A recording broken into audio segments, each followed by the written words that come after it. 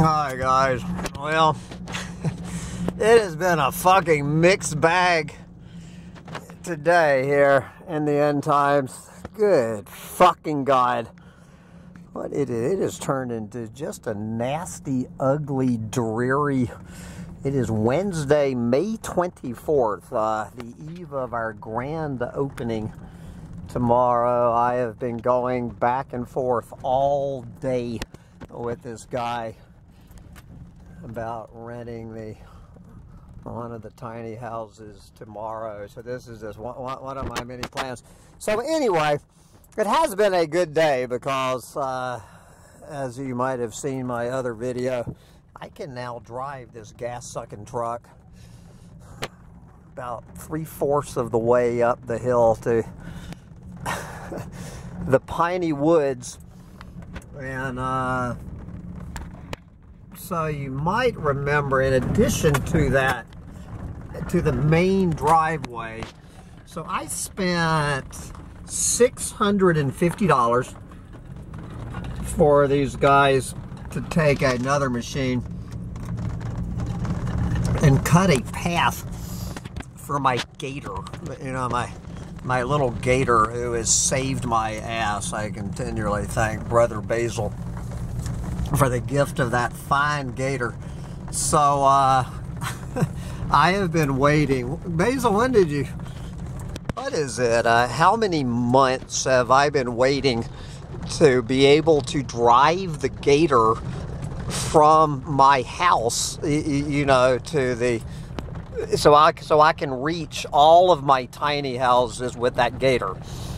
I don't know whether I'll ever be able to drive the gas-sucking truck, but as long as I uh, have the gator, you know, I can move materials up there.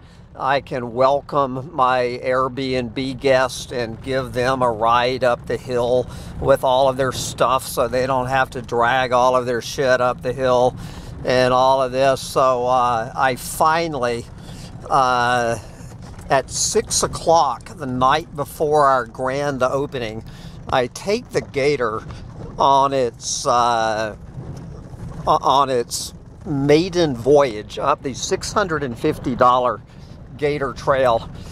Thing performs beautifully. I go flying up there. I'm yeehawing. Everything is fine. I load up that heavy ass generator up there at the tiny house and sitting there telling Rob this is the last fucking time that we're ever carrying this thing back and forth, back and forth, up and down this goddamn hill. Said I'm putting this motherfucker on the gator. So uh, before I loaded the generator, I decided to use the gator for all of this construction cleanup around the tiny house. You know, loading up uh, old boards and construction debris and shit uh, ready for our first guest tomorrow. I said, well, as long as I got the fucking gator, so I'm driving all around this construction site and uh, cleaning up all of that uh, construction debris because I'm having my big dump run tomorrow. So I get all of that done and I lug that motherfucking generator back out to the gator, you know, outside of the goddamn tiny house that I can finally drive to. Uh, you know, telling my Airbnb guests, yeah, uh, that I'll be, able to deliver all of your stuff uh, in the gator, that you don't have to be, you, know. And uh, so I get in the gator, I load the goddamn generator and that construction debris shit in the back of the gator put it in forward and start heading forward and, the, and it's driving like shit and i'm going what in the fuck is going on? Well you can take a wild guess what was going on. I got a goddamn flat tire. I'm sure i hit a fucking nail or a screw or some goddamn sharp object up there in the middle of that construction zone. So now i have no gator. I've got let's see, how many different sets of people so far are lined up between now and Monday? One, two, three, four. I got seven sets of people coming in uh, seven sets of people, and I have told all of them that uh, I will be carrying all their shit up the hill in that gator, and now I'm sitting here with a fucking flat tire. Something else to goddamn deal with, but uh, anywho's this too shall pass. So here's let let me let, let's figure out how my day went today. So I so I wake up this morning about 6.15 this goddamn morning and go on my computer and everything is looking fine. And so at 8 o'clock, I make two Skype calls. I call the damn lumber yard where I'm to the sawmill and another I make two Skype calls on my computer. Everything is fine with the Skype on the computer. Uh, no problems. Uh, I picked up a couple of other messages. I sent out a couple of texts. I had two personal conversations. This was at 8 o'clock this morning uh, on Skype. And then I go on and find that Airbnb, that I have a reservation on my Airbnb. So then whenever I get an Airbnb reservation, I need to go over to HipCamp and block the fucking date. I've been doing this for two years. You know, whenever one makes a reservation, I go over to the other site and block the dates. I just did this shit a week ago. I go on there and, and I try to block the dates no matter what the fuck I do. I, I block the date. That's no problem. I go in there and, and I block out the date, but I notice that all I'm blocking is a campsite. And it says, uh, it, it, and so I had to block one of the tiny houses. And so I went to figure out how the fuck do I move it from the campsites to one of the tiny houses. There was no fucking way. So I get on there to support. When you go into Hip Camp, they actually have a support llama. I get on there and the fuck, and I'm chatting with a llama. And the fucking llama is telling me how to do this. And I say, no shit, you fucking llama. And, uh, you know, the llama tells me to go on the edit and to pick out the date and to block the date. And then I do all of that. And then the next step is to select which one of your listings that you want to block. I do this all the time. There is no fucking way on that screen. And, and I sign, you know, I went off and back, off and back. There is no fucking way uh, to move it out of the campsite. So I, and so I said, I need uh, to talk to a real fucking human being at Hip Camp Support. I had had enough of the fucking llama. So I, I decided to call Hip Camp Support. So I go over to my Skype. This is now 9.30 in the morning. So this is one hour after all of that Skyping I did. I go over on my computer. There is no Skype on my fucking... Well, what there is, there's a blank screen, a blank white screen that says Skype on it. Uh, I turned off the fucking computer. I, you know, I completely turned it off. I counted to 20, turned the motherfucking computer back on, and uh, and no fucking Skype. If you try to, this just happened to me in Texas a few weeks ago. Two and a half hours I spent on that fucking supported Skype trying to get my goddamn Skype back on my computer. I, I said, fuck this. I have a lot to do today. So I still have, so I have no Skype on my computer, which reminds me of that whole rant about uh, that fucking interview that that little eco pissy over at Collapse Chronicles had last night. that fucking train wreck uh, trying to be interviewed in the year 2023 between Zoom and Skype. And I ended up having that interview for a few minutes of it anyway on Skype, the same fucking Skype I had that goddamn interview on. Anyway, so what else happens? So that's right. So then it is time to shampoo the carpets in the tiny house. All right, it is finally the day before our grand opening. You know, I wanted to save the carpet shampooing to the last thing. So I haven't been giving a running drama of what I have been going through with this fucking vacuum cleaner I have. This, this, you know, this $200 heavy duty vacuum cleaner that that fucking bitch tenant of mine from a couple of years ago. Actually, left it behind. Best vacuum cleaner I've ever had. So anyway, uh, I guess the hose broke on it this winter. So uh, Rob and Donna got a $35 Walmart vacuum cleaner to replace this $200 nice vacuum cleaner. So I go on the fucking hose that's broken costs the same as the goddamn Walmart vacuum cleaners, $35. I spend $35. I, I lose days and days. Uh, there's a whole nother rant that I could get on.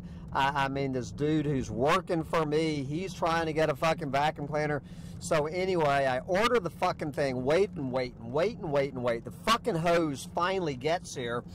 But by that time, what we needed the vacuum cleaner for, we'd already used the other vacuum cleaner. Uh, you, know, just tell the tell the part for the good vacuum cleaner. Uh, so, the, so the part actually got here like five days ago. Five fucking days. This brand new hose from Amazon has been sitting in my living room taunting me. And I said, Well, I don't want to shampoo the fucking carpets until Wednesday, the 24th. This was uh, one of the main things I was going to do today. So after dealing with Skype and hip camp bullshit, I get up and I say, okay, put your mind to something else. I go get that motherfucking vacuum cleaner hose that's been sitting there. I, I put it on. Takes five minutes to to install the new hose on the $200 vacuum cleaner. I put the new hose in. I uh, and, and, I go in the tiny. You know, you're supposed to vacuum the rug, and then you put the shampoo on, and then you vacuum it a second time.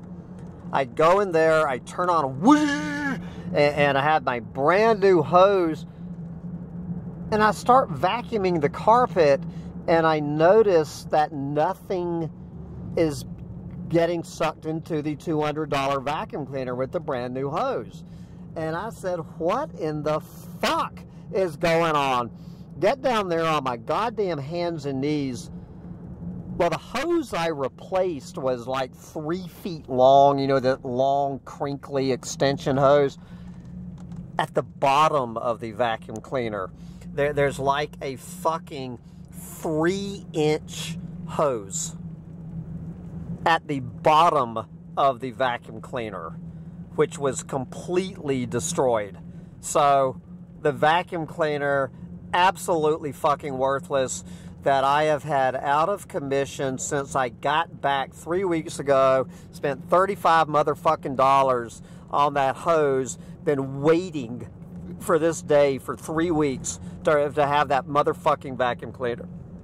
Vacuum cleaner completely fucking worthless because I did not buy the second hose, which I did not knew it know existed on the fucking vacuum cleaner. I went in that motherfucking house.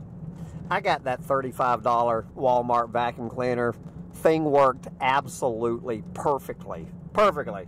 So I get the rug shampooed in the tiny house. What was the next thing? Uh, so that job is done. Oh, that's right. So then I decide to go uh, varnish uh, my beautiful plank that I'm, you know, that I put all of this time. I spent $103 on the plank.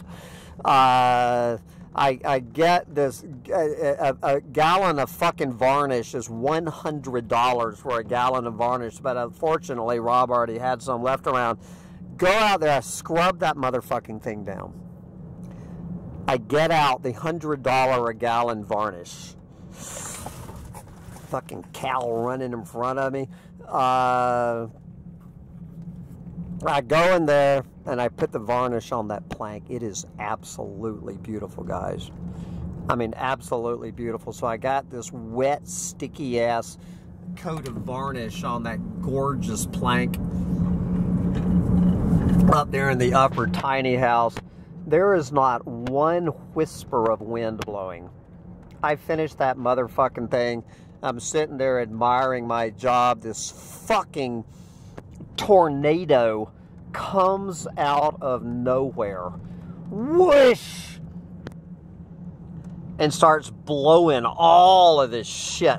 fucking pine needles, maple little seeds, the fucking plank, this gorgeous uh, $100 plank with, with, with, a coat of varnish on it, covered in, in, in all of this fucking bullshit. And uh, it was about that time when uh, my Planet Eater came to announce that my road was ready. And uh, the day actually improved, other than trying to find the, this dude, seeing if he wants to rent this tiny house tomorrow or not. So, racing along to get that ready. And, uh, what are you yelling? Who is that? That's a that that's an Amish. That is an Amish person in a gas powered. Uh, you you tell them. You tell them, Sancho Panza, that you're fucking Amish. You, you should not be carrying that around in, a gas sucking uh, forklift. I carried one of those water tanks uh, myself. These, these fucking, you, you tell that Amish guy. You tell him. You say, you say, Luca, I, I, I, know that you're not a fucking Amish dude. You got more fucking fossil fuels uh, than fucking Dubai. All right, I am here for my last board. Uh, we're making the uh, we're making the handrails for the stairs in the upper tiny house, and. The last board, do you believe it? These guys are like, yeah, right. Uh, we've heard your, your your last board comment enough times, dude. Shut the fuck up about your last board. Uh, these guys have saved my ass. These beautiful hemlock trees have not died in vain they're now going to make a staircase to a tiny house. and I am done with the uh, dead hemlock trees at the Amish sawmill. Get out there and enjoy your dead hemlock trees while you still can before every fucking hemlock tree in New York is dead. Oh man, there's my new Dulcinea. God, what is she up to now? She's probably I think I think she's changing the oil on a tractor.